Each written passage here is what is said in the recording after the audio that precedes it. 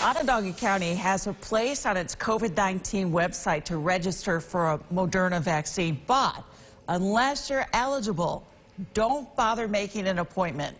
According to a county spokesperson, the page was put up so first responders, frontline workers, or other designated positions by New York State could register and get a vaccine quickly. In an effort to make it accessible, the page wasn't made private.